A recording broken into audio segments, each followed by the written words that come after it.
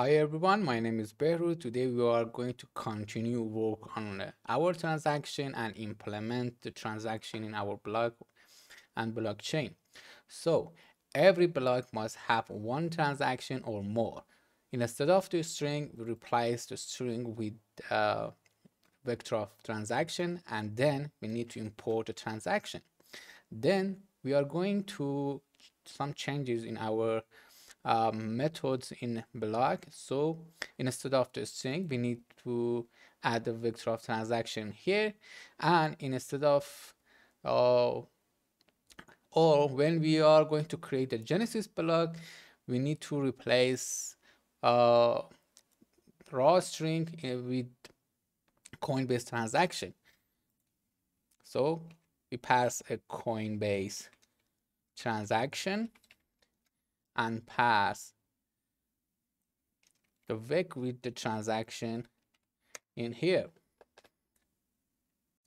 Right now, we did some changes in our block file. So we need to go to the blockchain and add some functionality like load balances, access to unexpected, unexpected token from transaction and show them to the user or create a new mining block and also uh, send token to the different users with the address.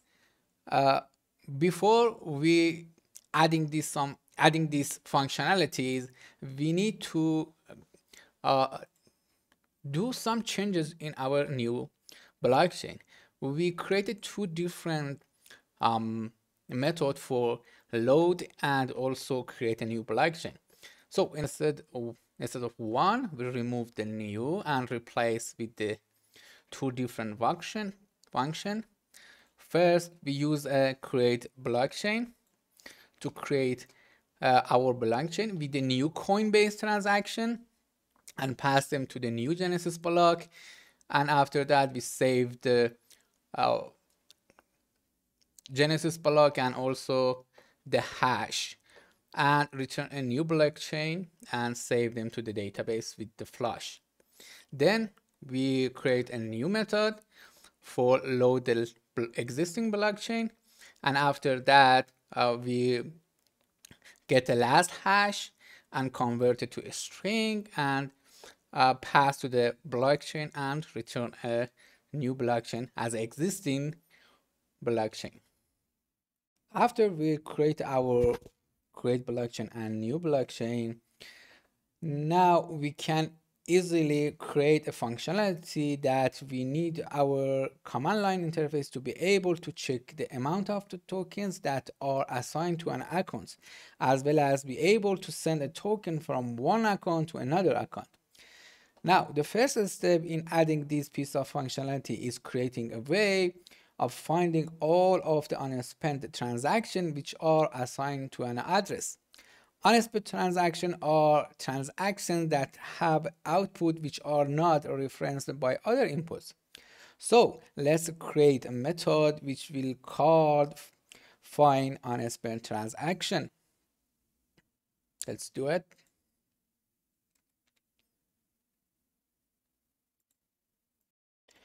This method take address and also return a vector of transaction.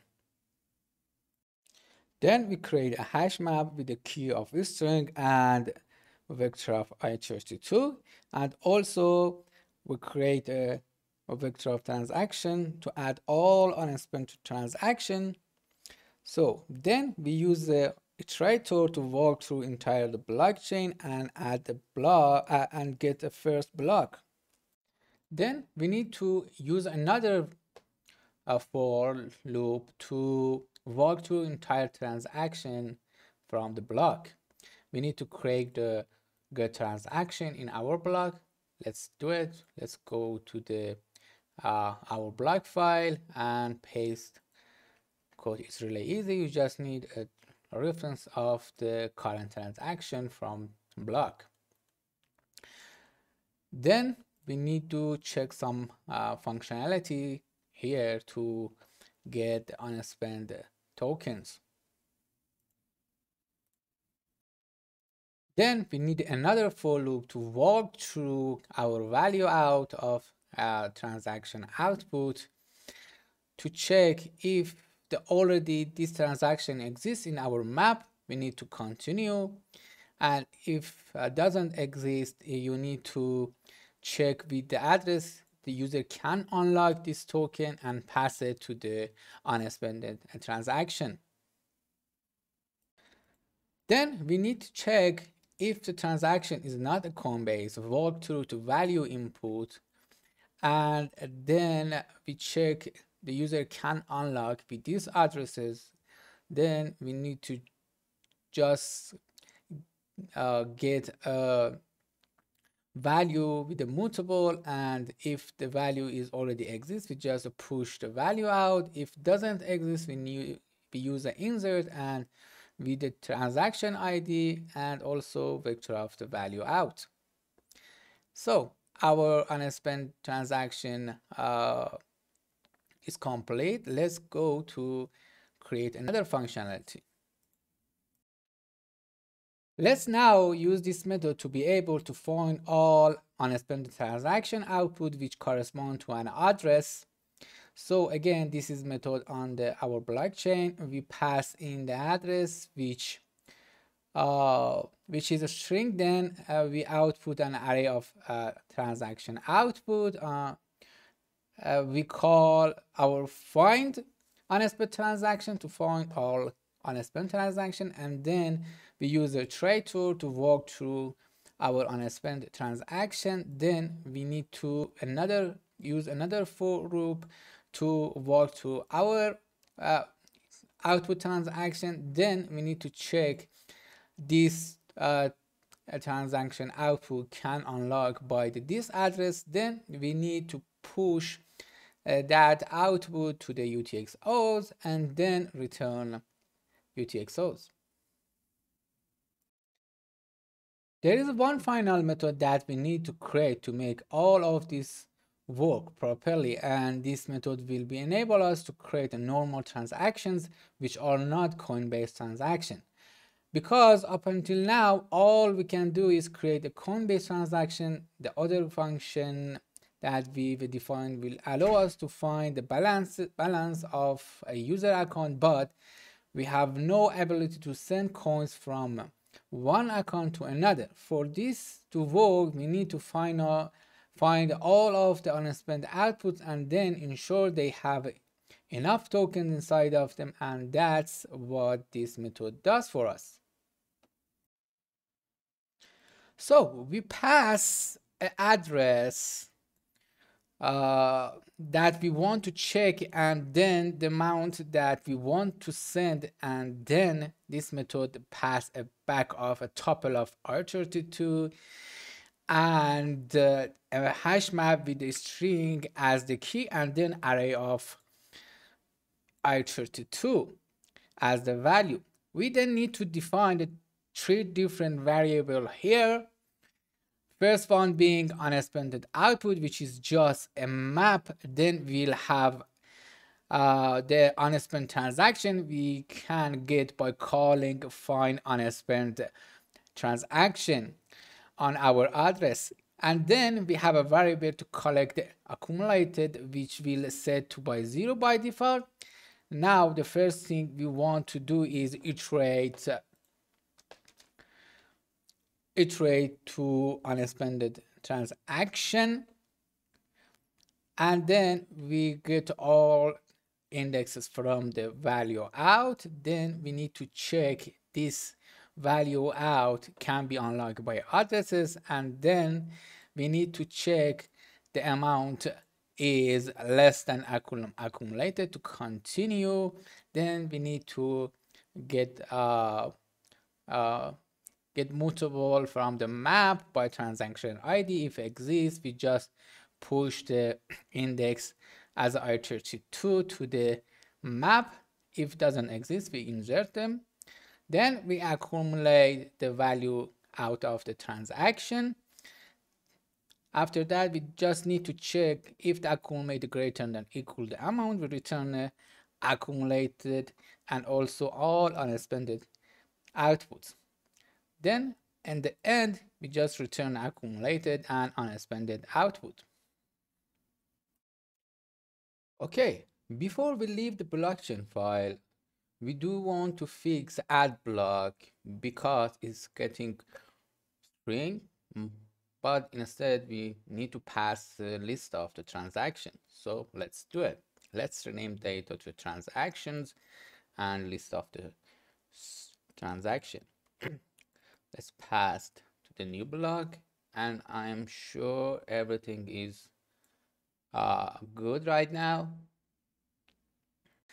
Let's go back into our transaction file and create a method called new UTXO. For this function, we pass the two string we want uh, to pass in from account and to account. And also we need uh, uh, another variable for amount and a reference to blockchain. And as a result we return a transaction. In this method we want to access the all valid unspent tokens. Then we need to walk through to all maps and find the uh, valid amount to pass to another account. After we find all valid outputs, we need to check the from address has uh, that amount of money to pass to another user. So if if the condition wasn't true, we need to return an error. Then we walk through all outputs and uh, with in each transaction, uh, we create a new inputs and we pass to the v in or value input vector. Then we need to create a list of the outputs and pass that amount of money we want to pass to another address or user. Then we need to check another condition if uh, that amount of money the user already has if uh, greater than that greater than amount we need to do some calculation and to pass the rest of the token to the from address.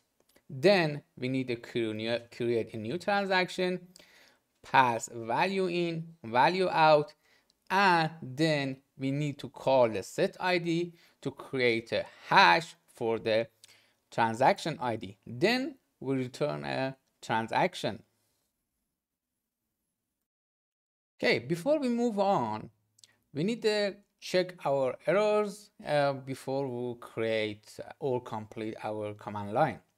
Let's find all errors okay we have an error here because we need to pass a vector of transaction in a command line tools we are going we are going to back here but let's pass empty vec right now.